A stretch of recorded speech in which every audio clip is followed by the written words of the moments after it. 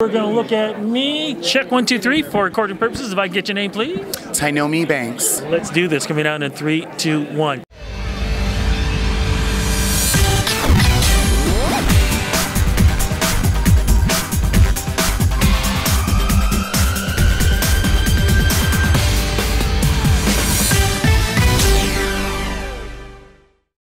You know, usually I don't have to take my monopod up higher, but for your, how tall are you? I'm Amazon tall. Hello. I believe that. Wonder Woman tall. Hello. Oh my goodness. Look, first I got to ask you, how does it feel being here on the red carpet at the Canadian Screen Awards? Honestly, the love and support everyone's giving me, the positive, you know, that those type of stares are like, oh, you go, girl. I, a lot of that is happening. I'm very happy. I think I'm the first drag queen, uh, black drag queen, Jamaican, to be here. So I'm very, I'm very happy about that. Of course, you're part of a television show, aren't you? Yes, Canada's a drag. It's on CBC, um, second season. They did a fabulous episode or segment on me, and it's been blowing up. So I'm very happy about that too. How did, like a lot of people try to, you know, to, to be drag queens or whatever, but to be successful at it, what do you think the secret is? It's not just makeup and think you can lip sync. What do you think the secret is to be successful? I think you should have talent.